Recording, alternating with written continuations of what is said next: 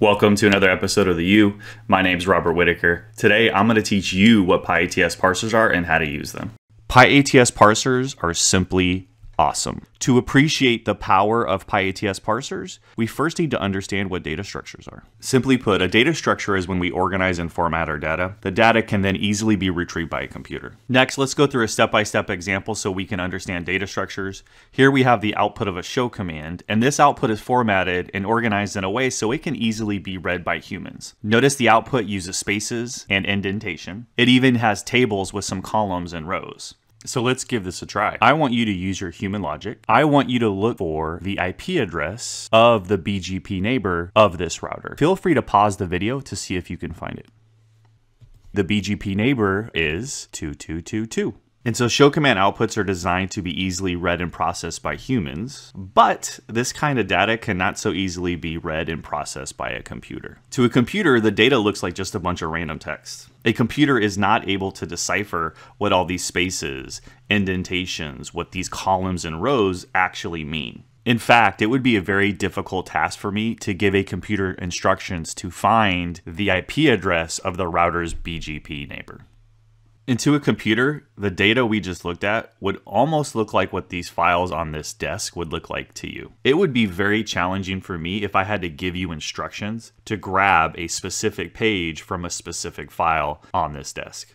Now, it would be much easier for me to give you instructions to retrieve a file if all of our files were meticulously organized into a file cabinet. I could say, hey, the file's in drawer 10, it's in the first folder, and I need the file called Robert's tax form. This is very similar to how computers prefer their data. They prefer their data to be organized in a very specific way. Or I should say, a computer prefers the data to be structured on the right hand side, this entire output is a Python data structure. If you look carefully at the data, you might notice that the data looks familiar. In fact, it contains similar data that we saw in the BGP show command output that we previously looked at. So we could obtain BGP neighbor info via the show command on the left, or we could obtain BGP neighbor info via the data structure on the right.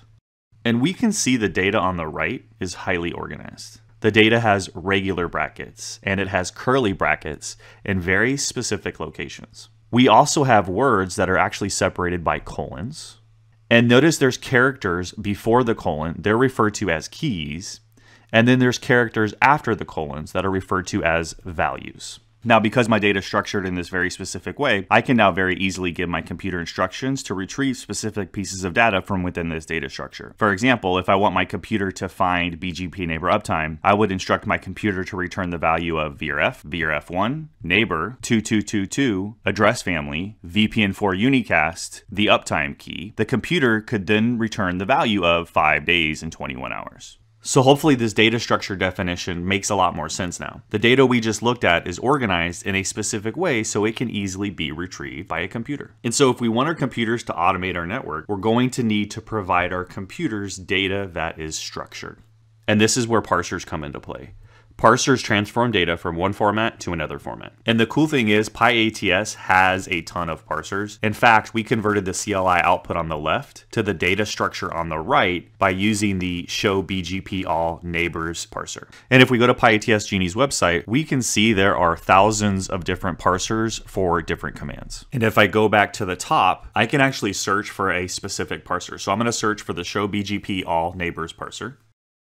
And there we go. Once I search that, I can see there's a show BGP all neighbors parser for both the XE and the IOS platforms. In fact, if I pull down this menu, uh, there are a ton of different parsers for different platforms. And notice some of these platforms aren't even made by Cisco. Okay, so I'm going to show you how to use these parsers in five simple steps. Step number one will install the NetMiko PyATS and the Genie libraries. Step number two will then write a NetMiko script to run a show command on a router. Step number three will then use the Genie parser in our script to convert show command output to a Python data structure. Step number four will use the pretty print method to print out the data structure and make it human readable. And then finally, step number five will update the script to print out a specific value within the data structure. Now, in order to work with PyATS, you need Linux. If you have a Windows machine, you can actually easily spin up a Linux VM using WSL2. I cover exactly how to do this in this video right here. I'll include a link to this video in the show notes. So let's go into step number one. I'm going to connect into my Ubuntu VM. We'll first install the NetMiko library, which is going to enable us to send show commands to a router. We're going to install it using pip. Next, we'll install PyATS. And then finally, we're going to install Genie, which is going to enable us to use those parsers. Okay, next we're going to move on to step number two. We're going to create a script so we can send show commands to a router. So I'm going to use the code command to create and open a new file called show command py. That file gets opened up in Visual Studio Code. Next, I'm going to copy the code from Cisco U. If you want access to this code, I'll put a link to the code in the show note. I'm then going to paste the code into my script. So this entire script from a very high level, we want to simply send show commands to a router, and then we want to print out the response. Now, if we look at some of the individual lines of code, in line one, we're importing code from the NetMiko library. We then specify the host name, username, password of the router, and the type of router we want to connect to. In line nine, this is where we connect an SSH into the router, and we store the SSH connection into the R1 variable. And in case you're not familiar with the concept of variables, just think of R1 as a, a special name. It's going to store our SSH connection to the router. What I can then do is later reference that R1 variable name to interact with our router. And that's what I'm doing in line 13. I'm saying, hey, I want to interact with the router, and we're going to be sending some commands to that router. And the command that we're going to send is the show version command. So when I run this script, we'll connect to the router and we'll send the show version command. I'm going to use the print function to print out the response from the router. So we save the script and then we go back to the Linux VM and run the script.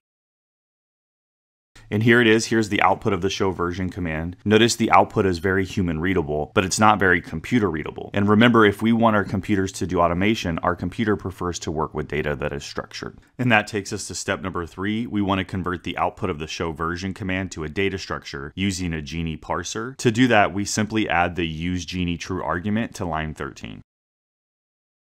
We then save the script and we run the script.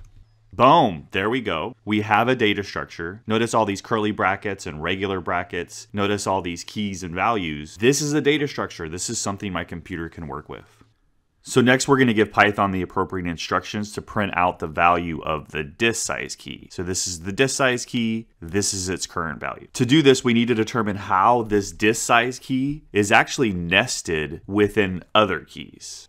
And for a human, reading through this data structure would be very tedious as everything is smashed together and there's no indentation. So to better read and work with this data structure, we should make it more human readable. And that's going to take us to step number four, where we're going to use pprint, which stands for pretty print, to make this data structure more human readable. So pretty print comes from the rich library. So let's install the rich library.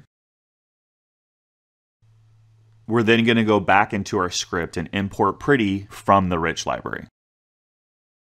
Next, I'm going to update line 14. So instead of doing a regular print, I want to use a pretty print. So I save the script. Let's clear the screen. I'm then going to run the script. Boom, there we go. We have a data structure, the same data structure as before, except this output is indented and much easier for humans to read. And that takes us to step number five, where we're going to update our script to only print out the value of the disk size key.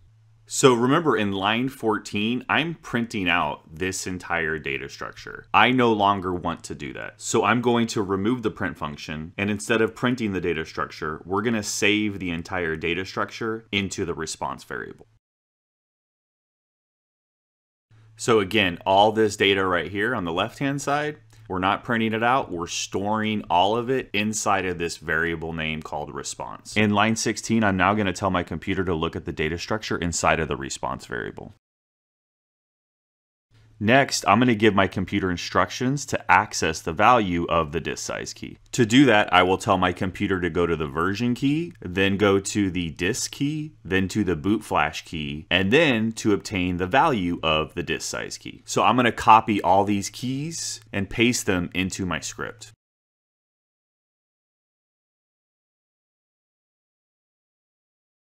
So again, I'm telling Python to look at the response variable, which is this entire data structure. I'm telling Python to go to the version key, the disk key, the boot flash key, followed by the disk size key. And we want to return the value of the disk size key which is 5234688 and we want to store this value into a new variable. So we're going to store that value into the disk size variable.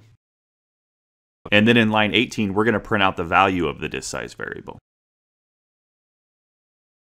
So here I'm using the print function. I'm using something called an f string. So I want to print out the string that says the size of the disk is, and then at the end of the string, I want to insert and print out the value of the disk size variable. So I save the script. Now I'm going to run the script. Boom, there we go. Our script prints out the following message. The size of the disk is 5234688. So to recap, we just converted the show version command output to a data structure, and then we gave our computer appropriate instructions to go go through the data structure and print out the value of the disk size key. Very, very cool stuff.